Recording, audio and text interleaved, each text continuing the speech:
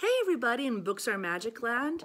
It's me, Gabrielle Balkan, and I'm here to talk to you about one of my books. Can you guess which one it might be? If you did not guess this, then we need to have a talk about your observation skills. That's right. We're here to talk about a book called Whose Bones.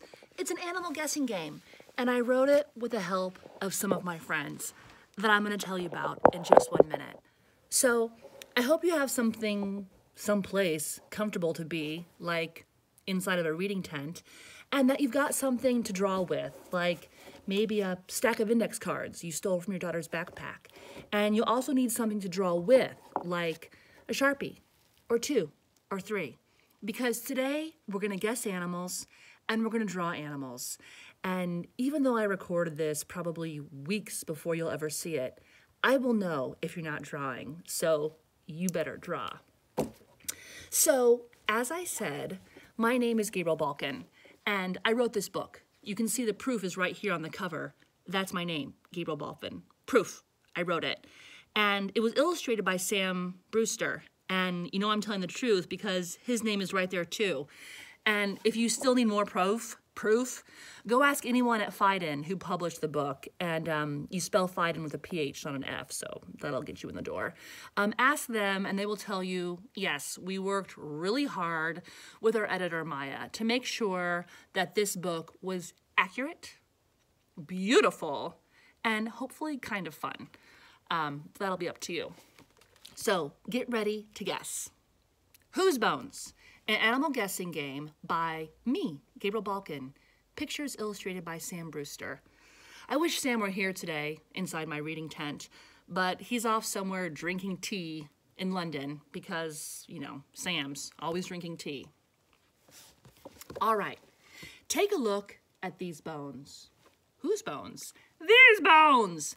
The Tyrannosaurus rex had enormous bones. Now, find the house mouse. Does she have bones? Yep, tiny house mouse bones. Bones can tell you a lot about an animal. Let's look. Whose bones are these? These are human bones, like yours. Every bone in your body has its own special name, and all together they make up your skeleton. So let's find some of these bones. Uh, touch your soft ear. Is that a bone? No. But touch your hard skull. That is a bone. And if you're reading along with me at home, you may notice that I'm saying different words that are actually in the book. But uh, you try recording a video inside of a reading tent and see how easy it is. Um, anyway, back to the book. Whose bones are next? Whose bones are these? My skeleton starts with my head, just like yours. The bones in my head make up my skull. My hard skull protects my soft brain. Thanks, skull. I swim through the ocean with long flippers. Thick blubber helps my enormous body float. I am not a penguin. Who am I? Hmm. Who swims in the ocean? Penguins do. Oh, but we already know it's not a penguin. She told us so herself. My uncle Walter swims in the ocean, but uh, his skull is not quite this big. Uh, walruses swim in the ocean, but you know what I learned about walruses? They have back legs. I had no idea. So no back legs on this baby. So it's got to be something else. Uh, did any of you draw anything? You want to hold up your drawing and pretend that we can go back in time and I can see it through the telephone and know that you drew? Oh, thanks for playing along. I was hoping somebody would.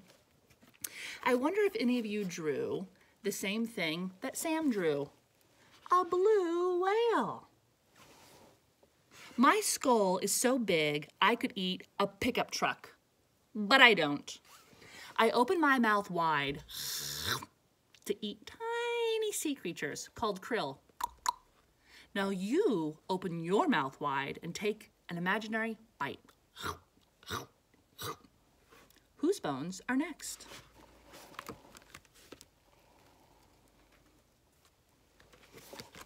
whose bones are these?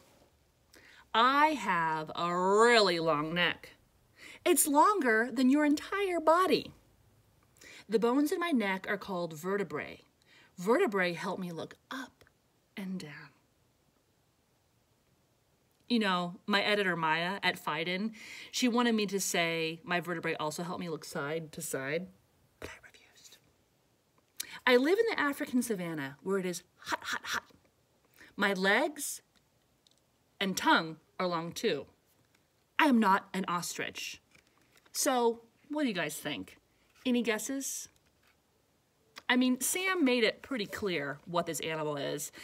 And other than an ostrich, I can't think of a single animal that has a long neck. Can you? Did any of you draw something that looks like this beauty? A Somali giraffe? So there's tons of giraffes out there in the world, but I chose the Somali giraffe to write about because they are the biggest. And if you were looking at a bunch of giraffes together, you can tell the difference between the different types of giraffes based on their patterns. They're slightly different colors and slightly different shapes. It's pretty interesting. And uh, no two giraffe has the same pattern on their body. It's kind of like a human fingerprint or a dog's nose, probably human nose too. I am a Somali giraffe. I use the long vertebrae in my neck to reach the top of a tree. Use your vertebrae to roll your head around and around and around. Feels good, doesn't it? Whose bones are next? So for this next animal, I'm not gonna show you the skeleton because I want to make sure that you are drawing for once in your life. So get out that index card, get out that Sharpie, and draw the animal that you think goes along with these clues. I have a simple skeleton with a really long back. The bones in my back make up my spine. My spine lets me bend and curve. Hmm, feels nice. I slither through leaves, dirt, and grass. Where are my legs? Oh, I don't have any. I am not a caterpillar. Who am I? Now, did any of you draw?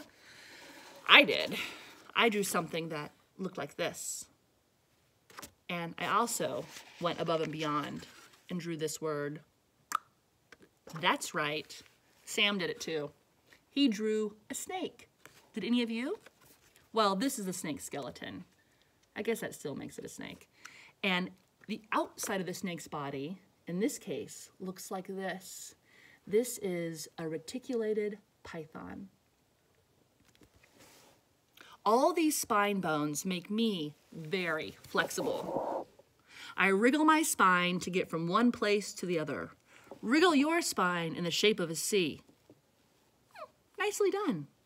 Whose bones are next? So this is my final animal that I'm going to read to you.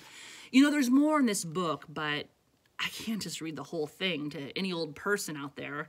This is highly confidential material, so you're going to have to hustle yourself over to Books Are Magic or your local independent bookstore or your favorite library and say, Hi, how are you?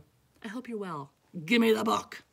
So, for the final animal, I really want you to draw this one. I'm serious about this one. The other ones, I didn't really care if you drew, but this one, I find that when kids draw these animals, it's like so freaking cute. Um, so maybe you'll draw it and take a picture of it and send it to me or post it on the internet and say, thanks, Gabe, for the inspiration. You can thank Sam too, and Maya at Phaidon. Um, all right, let's go.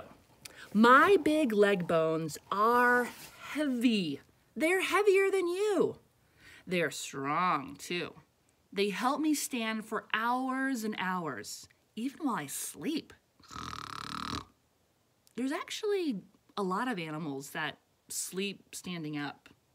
I could never. Clues.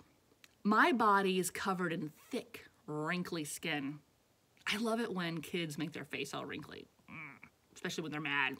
I'm so angry. I use my trunk, big clue there, to eat lots and lots of grass. I am not a hippopotamus.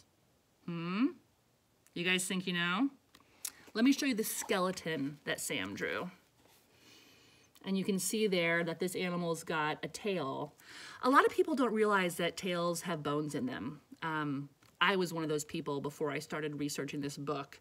But yeah, tails have bones, lots, because they move around and do all that. Any part of your body that can move has a bone in it. Um, and Sam's skeleton also has these tusks. Um, so those are some other really big clues. But you can't see the biggest clue, the trunk, because the trunk actually doesn't have bones in it. It has muscles, so that kind of goes against what I was saying earlier, but just go with me. Did any of you draw an African bush elephant?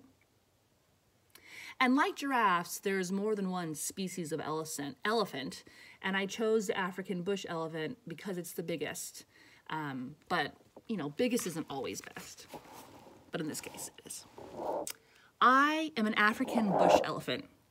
I love my body, my swinging tail, my flapping ears, and my powerful legs. These legs help me walk, trot, and swim. But I can't hop. Can you? Show me. Prove that you are a human and not an elephant by hopping. Hop, hop, hop. All right, everybody, this has been really great. And if you've made it this far, you might be surprised that I didn't re-record this video to get rid of the kind of goofier, weirder parts. But this is my fifth recording, and I don't think it's gonna get any better than this. Um, but I've really enjoyed it. I've had fun. I love being in this tent. I know if Sam Brewster was here too, he would have said, I loved it, because um, he's really supportive. So's Maya at Phaidon. So thank you all. Have fun watching the rest of these videos and drawing animals, and maybe you'll make up your own game for me to play sometime. All right, bye. Books Are Magic. Thanks for letting me invite myself. Bye.